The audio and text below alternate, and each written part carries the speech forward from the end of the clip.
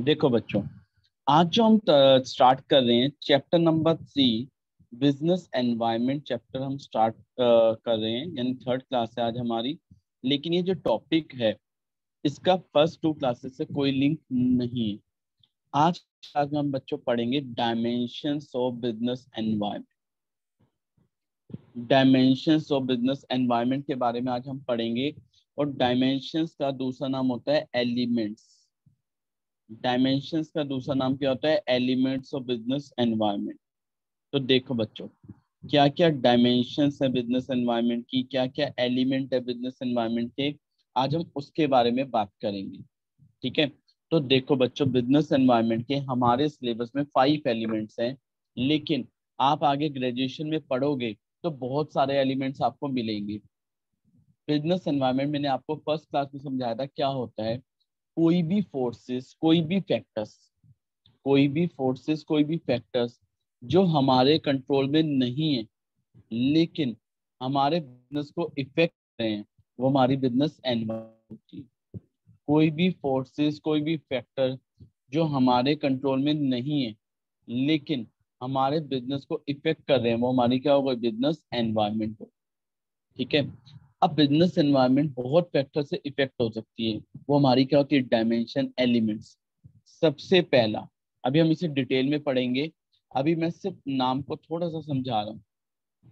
सबसे पहला वर्ड आता है इकोनॉमिक एनवायरनमेंट और ये टॉपिक केस स्टडी में ही आता है, ध्यान रखना। डायरेक्ट नहीं पूछा जाता। सबसे पहला वर्ड आता है इकोनॉमिक एनवायरनमेंट इकोनॉमिक एनवायरनमेंट क्या होता है? ये बिज़नेस एनवायरनमेंट की एक डायमेंशन होती है।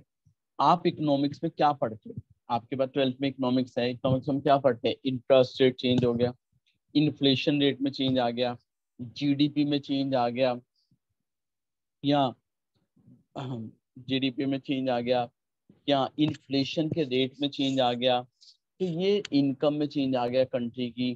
तो ये जितनी भी चीज़ें आप इकोनॉमिक्स में पढ़ते हो, अगर उनमें कोई भी चेंज आता है और उसकी वजह से मेरा बिज़नेस इफ़ेक्ट होता है, वो बिज़नेस की कौन सी एनवायरमेंट होती है? इकोनॉमिक एनवायरमेंट क्या नाम देते हैं उसका? Economic environment inflation GDP interest rate export import foreign exchange ये सब इकोनॉमिक्स में पढ़ते हैं। इनमें कोई भी चेंज आता है तो वो बिज़नेस के लिए कौन सी एनवायरमेंट होती है? बिज़नेस की इकोनॉमिक एनवायरमेंट होती है। यानी इकोनॉमिक एनवायरमेंट की क्या होती है? वो डायमेंशन होती है।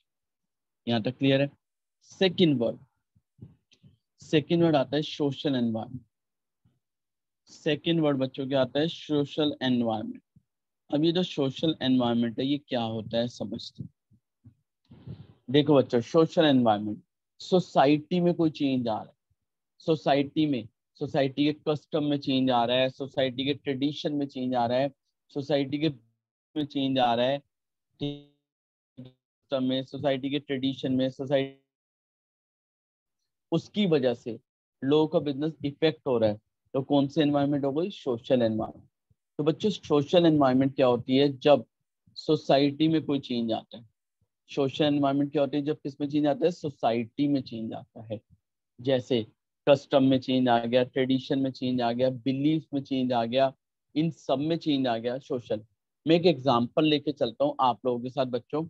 देखो, एक होती है इकोनॉमिक एनवायरमेंट एक होती है सोशल एनवायरमेंट इकोनॉमिक एनवायरमेंट क्या होती है? जो भी इकोनॉमी में चेंज आते हैं, जैसे interest rate inflation rate GDP इनमें कोई भी चेंज आ रहा है तो हमारी कौन सी एनवायरमेंट होगी? इकोनॉमिक एनवायरमेंट होगी। सोसाइटी में चेंज आ रहा है। सोसाइटी के कस्टम में सोसाइटी के ट्रेड्स ट्रेडिशंस में बिलीफ में कोई भी चेंज आ रहा है, वो कौन सी एनवायरमेंट हो गई? सोशल एनवायरमेंट ठीक है? अभी मैं इसको पूरा डिटेल आज जीडीपी करूँगा आज कम से कम हम पाँच से छह केस स्टडीज़ करेंगे, क्योंकि आना है केस स्टडी में।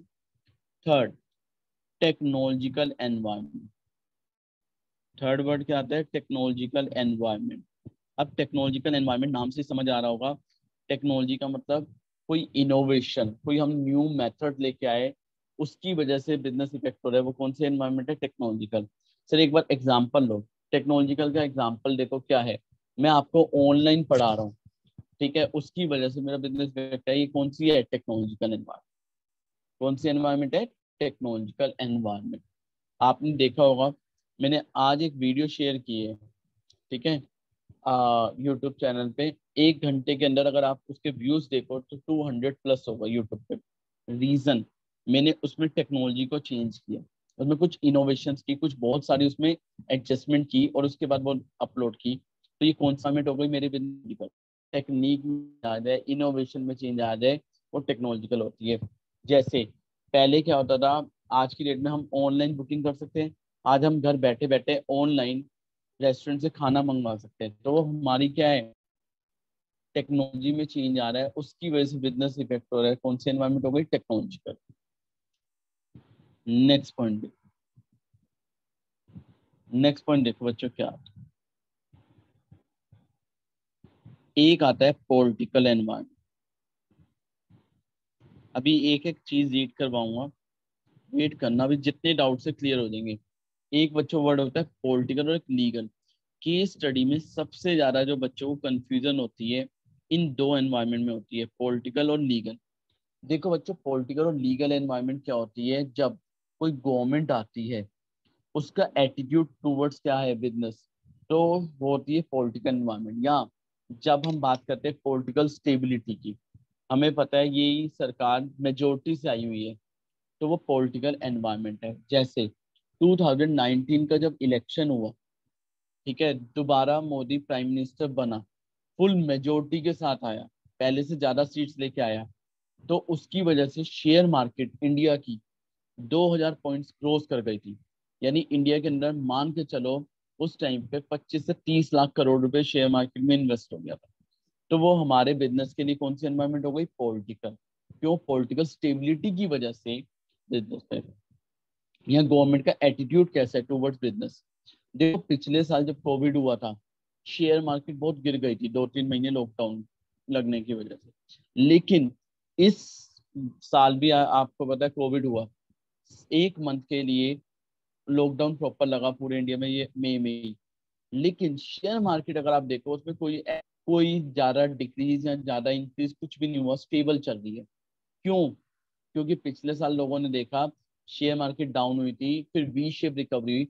तो क्यों क्योंकि गवर्नमेंट का एटीट्यूड प्रॉपर था किसके लिए? कोविड के लिए। वो पॉलिटिकल एनवायरमेंट होती है लीगल कोई लॉ पास हो गया, कोई कोर्ट की जजमेंट आ गई, ठीक है? कोई कोर्ट का जजमेंट आ गई, कोई ऑर्डर पास हो गया, उसकी वजह से बिज़नेस इफ़ेक्ट होता है, उसे लीगल बोलते हैं।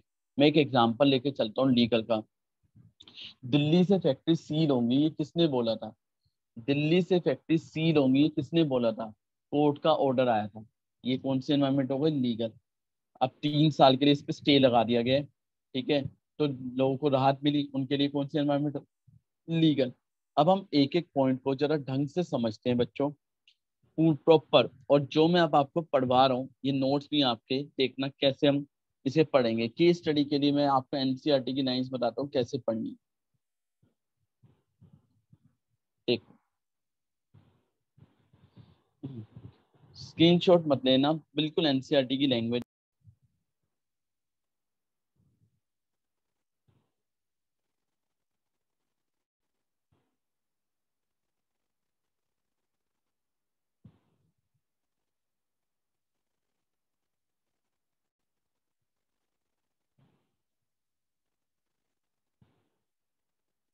देखो बच्चों, सबसे पहले मैं बात कर रहा हूँ किसकी? इकोनॉमिक एनवायरमेंट की।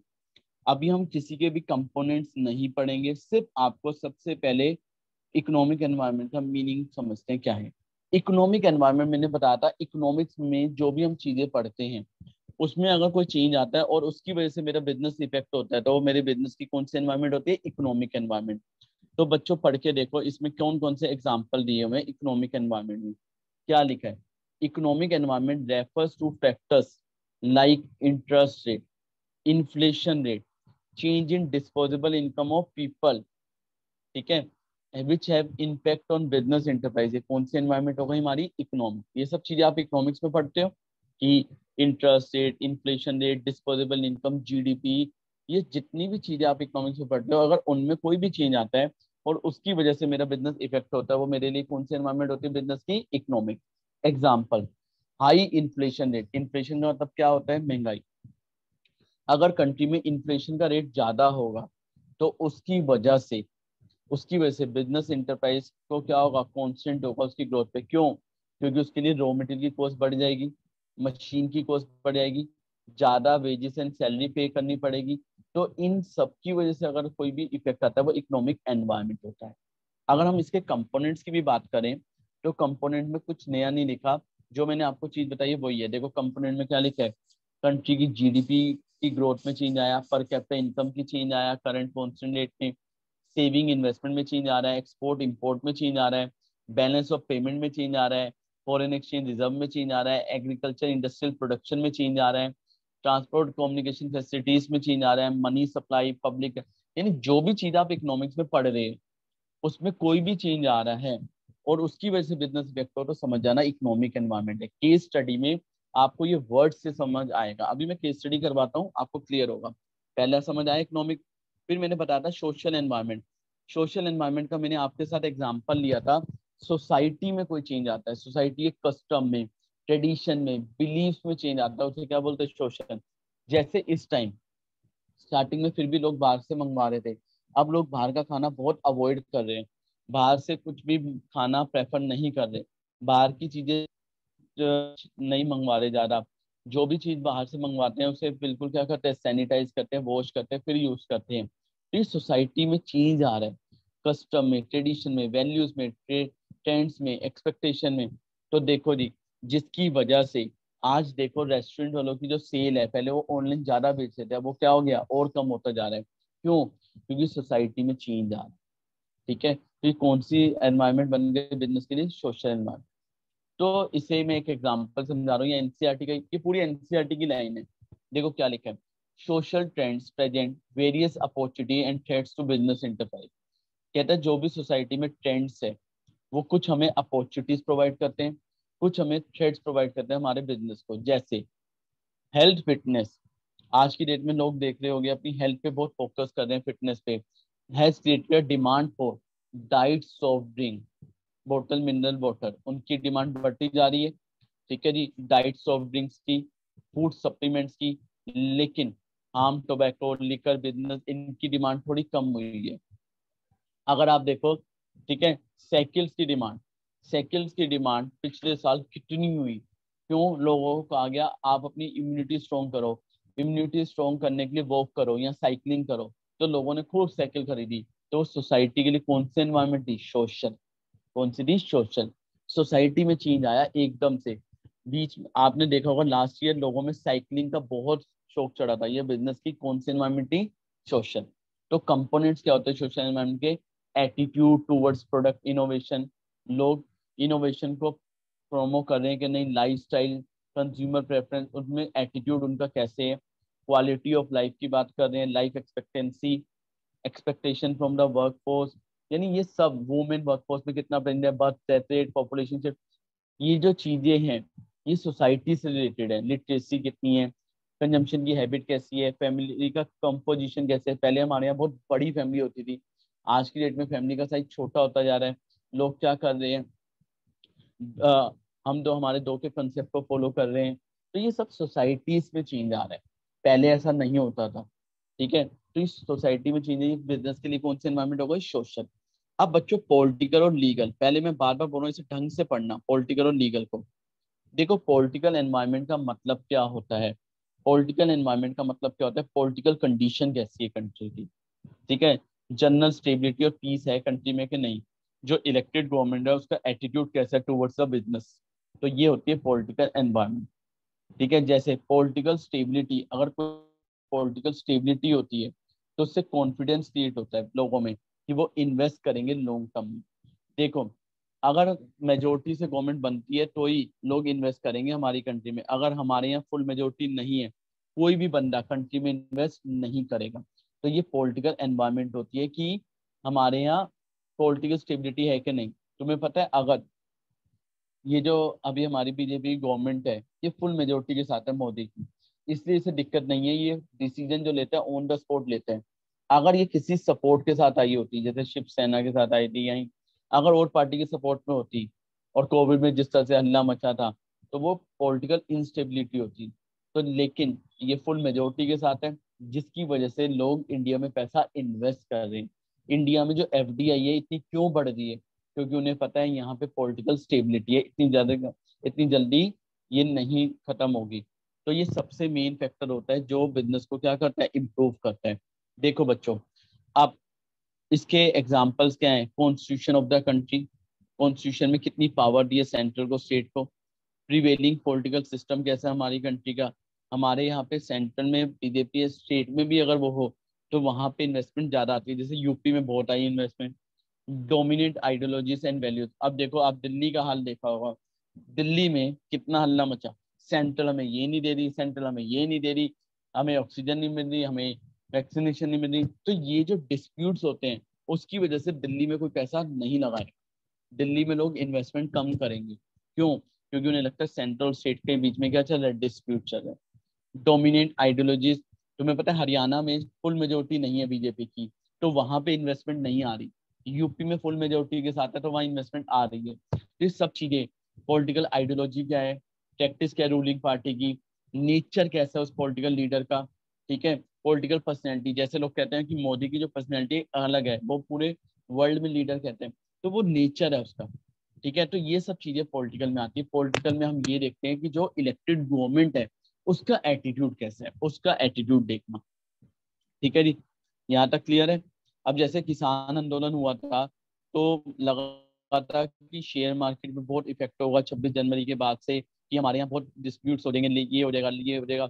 लेकिन कुछ भी नहीं हुआ। क्यों? क्योंकि पॉलिटिकल बिहेवियर उनके लिए उन्होंने नॉर्मल रखा। उन्होंने कुछ भी नहीं किया। नॉर्मल सिचुएशन को चलने दिया, जैसे चल रही अब हम बात करते हैं लीगल देखो, मैंने तुम्हें बार बार बोल रहा हूँ पॉलिटिकल लीगल में ध्यान रखना कंफ्यूज मत होना। लीगल एनवायरमेंट क्या होती है? लीगल एनवायरमेंट का मतलब क्या होता है? Various legislation pass by the government legislation का मतलब होता है लॉ गवर्नमेंट ने नया लॉ पास कर दिया। जैसे आर्टिकल 370 को हटा दिया जम्मू कश्मीर से, ठीक है? और जम्मू कश्मीर में, जम्मू कश्मीर से किसको अलग कर लिया? ले लद्दाख को, उसे यूनियन टेरिटरी बना दिया। तो ये जो किया, किसके थ्रू किया गवर्नमेंट ने? लॉ पास करके। इसकी वजह से तुम्हें पता जम्मू कश्मीर में कोई भी प्रॉपर्टी खरीद सकता है, वहाँ पे बिज़नेस स्टार्ट कर सकता है। तो कौन सी एनवायरमेंट हुई? उसकी वजह से जो बिज़नेस चालू होंगे, वो लीगल हुई वहाँ। Administrative order issued by government authority जैसे दिल्ली गवर्नमेंट ने ऑर्डर पास कर दिया, एक हफ़्ते और लॉकडाउन रहेगा। अब एक हफ़्ते और लॉकडाउन रहेगा तो वो क्या किया? ऑर्डर पास कर दिया गवर्नमेंट ने। तो हम अपनी दुकान नहीं खोल सकते तो हमारे लिए कौन सा एनवायरमेंट हो गया? लीगल ठीक है? कोर्ट की कोई जजमेंट आई या किसी कमीशन या एजेंसी ने सेंट्रल स्टेट ने कुछ पास कर दिया? जैसे उन्होंने कह दिया, बिना मास्क कोई घूमेगा तो दो हज़ार रुपये का फाइन लगेगा। ये लीगल एनवायरमेंट तो लीगल का मतलब क्या होता है? ये आ, हर बिज़नेस को चलाने के लिए हर बिज़नेस को कंट्री में चलाने के लिए कुछ लॉ बनाए जाते हैं। जब हम उस लॉ को फॉलो करते हैं वो लीगल होते हैं। और अगर हम उस लॉ को फॉलो नहीं करते तो बिज़नेस लीगल प्रॉब्लम में आ जाता है। जैसे बिज़नेस करने के लिए कंपनीज़ एक्ट के बारे में पता होना चाहिए कंज्यूमर प्रोटेक्शन एक्ट के बारे में पता होना चाहिए ठीक है? इसके एग्ज़ाम्पल देखो। एग्ज़ाम्पल क्या होता है? कोई भी सिगरेट की डब्बी लो। या कोई भी तंबाकू खरीदो तो उसकी एडवर्टाइजमेंट के ऊपर लिखा होता है cigarette smoking is injuries to health बताओ, वो अपने प्रोडक्ट को प्रोमो नहीं करते, उन्हें वो लिखना पड़ता है। क्यों? क्योंकि हमारे यहाँ लो बना हुआ है कि अगर आप कोई भी ऐसा प्रोडक्ट दे रहे हो, जिसके अंदर क्या है लिकर प्रोडक्ट दे रहे हो या अगर आप तंबाकू सर्व कर रहे हो तो उसके ऊपर ये लिखा कंपलसरी होना चाहिए cigarette smoking is injuries to health ठीक है? अब आपने कभी शराब की एड देखी है? कोई शराब की एड नहीं आती। क्यों नहीं आती? क्योंकि हमारे इंडिया में advertisement of alcoholic beverage prohibited है। दूरदर्शन पे क्या किसी चैनल पे नहीं आती? बीच में वो अपनी एड देते थे किसके नाम से देते सोडा रेड लेबल सोडा इस नाम से देते थे कभी अपनी वाइन और बियर की एड नहीं कर सकते। और बी फ़ूड आप अगर देखो, अगर दूरदर्शन चलाते हो कोई ऐसा चैनल तो उसमें ऐड आती थी बेबी फ़ूड के लिए mother's milk is the best ये पहले बहुत ऐड आती थी। क्यों? क्योंकि लो बना हुआ था कि दिन में तीन बार ये ऐड देनी कंपलसरी है हर चैनल को। टेक्नोलॉजिकल एनवायरमेंट टेक्नोलॉजिकल मैंने बताया था, कोई भी साइंटिफिक इम्प्रूवमेंट आती है इनोवेशन आ रही है, और न्यू वेज पता चल रहे हैं गुड्स एंड सर्विसेज़ को प्रोड्यूस करने के तो हमारे लिए टेक्नोलॉजिकल है। जैसे एयरलाइन कंपनीज़ हैव इंटरनेट ठीक है, जिसके थ्रू अब लोग अपनी फ़्लाइट का टाइम एडजस्ट कर सकते हैं फेयर चेक कर सकते हैं ऑनलाइन टिकट बुक कर सकते हैं। तो ये कौन सा बिज़नेस के लिए होगी टेक्नोलॉजिकल न्यू टेक्नोलॉजी के थ्रू वो कस्टमर की रीच को बढ़ा सकते हैं। ये है टेक्नोलॉजिकल तो ये पाँच तरह की एनवायरमेंट होती है। केस स्टडी ढंग से सीखना। पहली केस स्टडी से ही मैं आपको बताना चालू करूँगा कैसे अटेंड करने पाँच केस स्टडी होंगी। पहली मैं हेल्प करूँगा, दूसरी आप खुद करोगे। एक सेकेंड देखो बच्चों।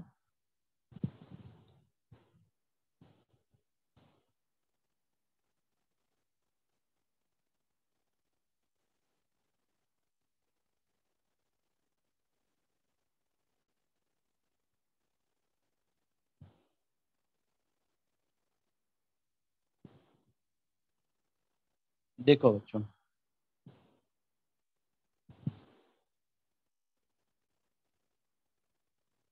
पहले केस स्टडी पढ़ते हैं। देखो केस स्टडी को पढ़ने से पहले, सबसे पहले क्वेश्चन की लास्ट लाइन पढ़ो। सबसे पहले क्वेश्चन की क्या पढ़ो? लास्ट लाइन पढ़ो। जल्दी से पढ़ो सारे बच्चे। थोड़ा और एक मैं साइज़ बढ़ा दूँ।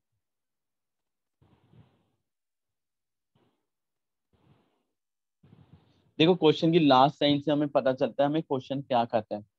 क्वेश्चन की लास्ट लाइन में लिखा है identify and explain the two dimension of business environment highlighted in the above para two dimension बताओ बिज़नेस एनवायरमेंट की, जो अब पैरा में हाईलाइटेड हुई है। मुझे जब क्वेश्चन की लास्ट लाइन पढ़ ली, मुझे ये पता चला ये कौन से चैप्टर का क्वेश्चन है बिज़नेस एनवायरमेंट की।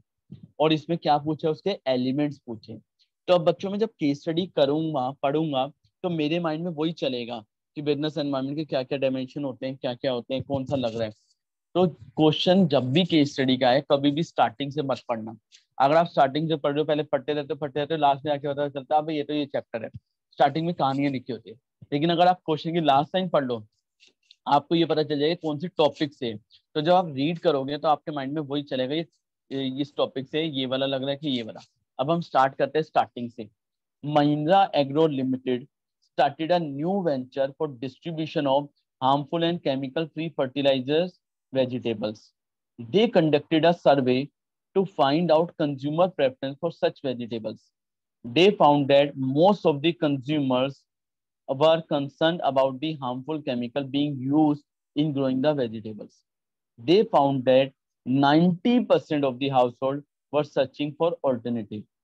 The company contracted a group of agriculture experts to lay down the procedure for growing the vegetables, for growing the uh, vegetables by the farmers, they decided to train the farmers in new technology to grow chemical-free veg vegetables. According to new innovative method, experts also suggested soil management techniques through which farmers would be able to create an abundant and lasting harvest, identify and explain the two dimensional business environment highlighted in the above case. जल्दी से अगर मैं आप लोगों से पूछूँ कौन कौन सा पॉइंट लग रहा है मेरे को बताएँ फटाफट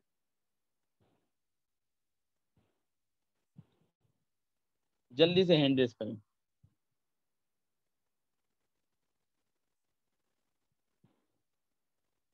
देखो जी। यस हर्ष गुलाटी बता रहे हैं। हर्ष बताएँ सर। भैया सोशल और टेक्नोलॉजिकल सोशल और टेक्नोलॉजिकल सोशल कैसे पता चला? मुस्कान सानी। यस मुस्कान बताएँ आप। मुस्कान हर्ष ने बोला है कि सोशल और टेक्नोलॉजिकल है। टेक्नोलॉजिकल तो सबको समझ आ गया होगा क्योंकि न्यू टेक्नोलॉजी है। सोशल कैसे पता चला वो बताए मुस्कान? सर्वे सर्वे। अच्छा सर्वे। की है सर्वे भी किया और इन्होंने ये देखा कंज्यूमर की प्रेफरेंस कैसी है वेजिटेबल्स के लिए। ठीक है जी सर्वे से भी पता चला कंज्यूमर प्रेफरेंस के बारे में। ठीक है यानी प्रेफरेंस का मतलब ट्रेडिशन बिलीफ कस्टम और प्रेफरेंस वहाँ बढ़ाता था उसकी वजह से सोशल समझ आया? अब देखो आपने टॉपिक पढ़ा आपको केस स्टडी फटाफट समझ आ गई होगी। अब मैंने आंसर नहीं दिया, आप सबने आंसर दिया। अगली केस स्टडी आपके लिए ये रही। जल्दी से पढ़ें और मेरे को आंसर दें। पढ़ो जी। क्या लिखा है क्वेश्चन में? Quoting the line from the above para explain four dimension of business environment ठीक है जी four dimension of business environment की हम बात कर रहे हैं। ठीक है जी, और कोटिंग दी लाइन है। ये सेकंड कैटेगरी के क्वेश्चन होते हैं केस स्टडी में। इसमें आपको लाइन कोट करनी होती है कि किस वजह से ये एनवायरमेंट लग रही है पढ़ो मेरे साथ Indian craft heritage continues because if it is custom and traditions crafts indian craft heritage continues because if it is customs and tradition crafts are used not only in the country by in rajasthan gujarat and assam but also exported to usa germany uk and france the volume of export and import give india an advantage in balance of payment the much needed foreign exchange reserve. The Prime Minister desires that the handicraft industry should be expanded by linking it with technology. Focus should be on changing the manufacturing process, ensuring durability and adopting innovation. जल्दी से बताएँ कौन कौन सी environment लग रही है एक बच्चा एक ही बताए ज़्यादा ना बोले ताकि मैं सब बच्चों से पूछ पाऊँ ठीक है और किस लाइन की वजह से वो भी बताना। यस yes, आकृति। आकृति बताएँ कौन सी एनवायरमेंट आप बताएँगे और कौन सी लाइन के बेसिस पे? सर इसमें हमें एक पॉलिटिकल एनवायरनमेंट शो हो रहा है यहाँ प्राइम मिनिस्टर वाली लाइन से the prime minister desires that handicraft industry बहुत अच्छा। है अभी एक ही बताओ आप। ठीक है मैं सेकंड ओर से बोलता हूँ। बहुत अच्छा बिल्कुल सही okay. आंसर दिया मैडम ने। प्राइम मिनिस्टर वाली लाइन से कौन सी एनवायरमेंट लग रही है? पॉलिटिकल एनवायरमेंट लग रही है। अच्छा अगला क्वेश्चन लक्ष्य। यस हाँ लक्ष्य बताएँ आप। यस लक्ष्य बताएँ। Yes sir sir technological environment कौन सी लाइन से? Sir the prime minister desires that the handicraft industry should be expanded by linking it with technology और सर इसकी नेक्स्ट वाली लाइन हाँ नेक्स्ट वाली लाइन से टेक्नोलॉजिकल लग रहा है। प्राइम मिनिस्टर लाइन से पॉलिटिकल में चला ठीक है। अच्छा नेक्स्ट कौन बच्चा नहीं जा रहे यस मैं देखता हूँ। कम बच्चे बता रहे हैं। हाँ जैन साहब बताएँ। अर्जब Jain. Economical the volume of exports and imports export and import और बीओपी वाली लाइन से इकोनॉमिकल बहुत सही आंसर दिया। यस और कोई बच्चा? एक रह गया है एक रह गई है। कौन बताएगा? आदित्य खुराना। आदित्य आप बताओ कौन सा लग रहा है? So India's uh, econo- वो मतलब social environment also India's craft heritage continues because of its customs हाँ. and traditions. ठीक है बहुत बढ़िया। ठीक है अब देखो इसका आंसर कैसे प्रेजेंट करना था। देखो आंसर देखो। पहले बताया सोशल एनवायरनमेंट कौन सी लाइन से पता चला? India craft heritage continue because of its custom and tradition economic environment कैसे पता चला? कि वॉल्यूम ऑफ़ एक्सपोर्ट और इम्पोर्ट्स की वजह से इंडिया के बीओपी को एडवांटेज मिली और मच नीडेड फॉरेन एक्सचेंज आई। पॉलिटिकल कैसे हुआ? Prime minister decided handicraft industry should be expanded by linking it with technology और टेक्नोलॉजिकल कैसे पता चला? फोकस किया गया किस पे? इनोवेशन पे, ये सब। यहाँ तक समझ आया बच्चों? तो किस तरह से क्वेश्चन आते हैं? अब मैं नेक्स्ट क्वेश्चन पे चलता हूँ। पहले वन मार्कर पे। देखो जी। वन मार्कर पे पहले चलते हैं। ये पढ़ो जी क्वेश्चन नंबर थर्ड आरबीआई वाला। आरबीआई वाला क्वेश्चन जल्दी से रीड करो। आरबीआई वाला। पढ़ो क्या लिखा है। The reserve bank of India increase the cash reserve ratio by 0.25 basis points to overcome the inflation trends in the economy identify the dimension of business environment highlighted in the given statement yes मुझे बताइए कौन सा पॉइंट लग रहा है।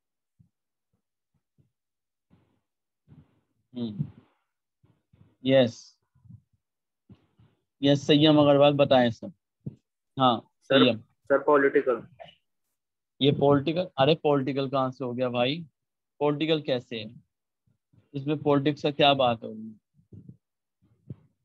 गलत answer है। यस कशिश आप बताएँ कशिश। सर इकोनॉमिकल इकोनॉमिक एनवायरनमेंट क्यों पता चला इकोनॉमिक क्योंकि कैश रिज़र्व रेशियो की बात हो रहा है और इन्फ्लेशन ट्रेंड्स को कंट्रोल करने की बात हो रही है। मैंने बताया था इन्फ्लेशन के बारे में जब भी हम बात करते हैं इन्फ्लेशन कंट्रोल या इंटरेस्ट रेट तो वो किसकी होती है? इकोनॉमिक ठीक है, ये तो क्लियर हो रहा है। पॉलिटिकल में तो हम गवर्नमेंट का एटीट्यूड देखते हैं टूवर्ड्स बिज़नेस यानी पॉलिटिकल यानी जैसे उसमें लिखा रहा प्राइम मिनिस्टर डिज़ायर तो ये सब चीज़ें देखते हैं। चलो, अगला क्वेश्चन एक मिनट। अगले क्वेश्चन पे जाते हुए। पढ़ो जी question number fifth question number fifth one marker है पढ़ो express tour limited is a travel agency which books air tickets on commission basis. It takes two days for express tours to get the tickets from airport reservation counter and deliver the same to customers. During the last one year, there has been a drastic decrease in its business as most of the customers shift have shifted to another travel agency, Shiva Tours and Travel, which provides ticket within half an hour through internet. The dimension of business environment that is being overlooked by Express Tours Limited. जल्दी से बताएँ यहाँ कौन सी environment लगती yes हाँ जी जग्गी साहब लक्ष्य जग्गी बताएँ सर सर टेक्नोलॉजिकल टेक्नोलॉजिकल बहुत बढ़िया आंसर क्योंकि किसमें चेंज आ रहा है? टेक्नोलॉजी में चेंज आ रहा है। यहाँ तक क्लियर है? अच्छा नेक्स्ट क्वेश्चन देखो बच्चों। क्वेश्चन नंबर सिक्स पढ़ो। क्या लिखे national digital library of India NDL India is a pilot project initiated by the HRD ministry. It worked towards developing a framework of virtual repository of learning resources with a single window search facility. It provides support to all academic level, including researchers, lifelong learners, and different able learners free of cost. Which dimension of business environment is highlighted above? Hindi में बोलूँ HR ministry ने एक library बनाई उसमें क्या था सब कुछ लर्निंग के जितने रिसोर्सेज हैं उन सबके लिए कॉमन प्लेटफॉर्म बना दिया जिसकी वजह से जितने भी एकेडमिक लेवल हैं सोसाइटी के, जैसे researcher lifelong learner different able learner सारे उस लाइब्रेरी को यूज़ कर सकते हैं बिना कुछ पैसे दिए। ये कौन सी एनवायरनमेंट है? A economic B technological C social D both B and C आपका टाइम स्टार्ट होता है अब। देखते हैं कितने भव्या जी, आप कितने आंसर देके कितना पैसा जीत सकते हैं। भव्या जी, बताएँ आंसर डी बिल्कुल सही आंसर। आपको पचास पैसे का इनाम मिलेगा, बट पेटीएम चेक कर लें, आपको शिफ्ट कर दिया गया। अब हम बात करते हैं अगले क्वेश्चन पे जाते हुए। थोड़ा सा लॉन्ग क्वेश्चन है हमारे लिए, लेकिन इस लॉन्ग क्वेश्चन को जरा ढंग से देखना बच्चों पेपर में काफ़ी आता है। एक सेकेंड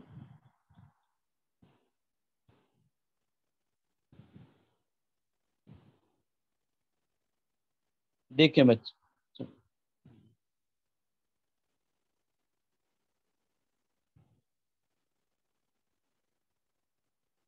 देखिए case problem number one case problem number four जल्दी से रीड करते हैं और बिज़नेस एनवायरमेंट की डायमेंशन के बारे में बात करते हैं। क्वेश्चन ये रहा आपकी स्क्रीन पे। लिटली मैनी कंपनीज़ है plan for significant investment in organize detailing in India several factors है promoted decision in this regard Customer income is rising. People have developed a taste for better quality product even though they may have to pay more. The aspiration level have increased. The government has also liberalized economic policy in this regard and permitted even 10% foreign direct investment in some sector of retailing. अब बताओ कौन सी environment लग रही है इस question में by quoting in lines yes start करते हैं। एक एक बताना सारी मत बताना। यस हर्ष गुलाटी बताएँ कौन सी एनवायरनमेंट लग रही भैया लीगल लीगल एनवायरनमेंट कौन से पॉइंट से पता चला लीगल है? मेरे को ये बताएँ। द गवर्नमेंट हैज़ लिबरलाइज्ड वाली जो लाइन है। यार ये लीगल होनी चाहिए गलत। लीगल नहीं है। क्यों? कोई लॉ थोड़ी ना पास हुआ है। ये तो गवर्नमेंट ने एटीट्यूड गवर्नमेंट ने अपना एटीट्यूड दिखाया है इकोनॉमिक पॉलिसी में। गवर्नमेंट जब गवर्नमेंट कुछ अपना एटीट्यूड कर रही है कोई लॉ पास नहीं हुआ लॉ पास होता ऑर्डर आता जजमेंट तो बन जाता लीगल यहाँ तो गवर्नमेंट ने पॉलिसी को लिबराइज किया फ्रीडम दी है। ठीक है तो ये बनेगा हमारा पॉलिटिकल ठीक है ठीक है? यस समत गोयल बताएँ सर हम्म। सर सोशल कौन से पॉइंट से? Customer income is rising customer income is rising गलत आंसर आपने दिया सर आपको। एक रुपए भी नाम नहीं मिलेगा। कस्टमर इनकम राइजिंग इनकम किसमें आती है? इकोनॉमिक में। इनकम कहाँ पे आती है? इकोनॉमिक में। तो ये कौन सी एनवायरमेंट है? इकोनॉमिक एनवायरमेंट आप तो माधव गाबा जी आंसर देते हुए क्या बात है? यस गाबा जी बताएँ आप कौन सा आंसर पॉइंट बताएँगे? माधव। यस सर बताएँ कौन सा पॉइंट बताएँगे आप? सर मेरे को वही सोशल वाला इकोनॉमिक वाला बोलना था। अरे बेटा हाँ उसके बाद उसके बाद एक लाइन पढ़ो। People have develop a taste for better quality लोगों में डेवलप कर लिया टेस्ट फॉर बेटर क्वालिटी ये बन गया सोशल एनवायरमेंट कौन सा बन गया? सोशल आंसर कैसे प्रेजेंट करना चेक कर लो। ठीक है? आपको आज की क्लास अच्छी लगी हो ठीक है? और कैसी लगी हो प्लीज़ बताना। नेक्स्ट क्लास में मिलते हैं तब तक के लिए बाय बाय सी यू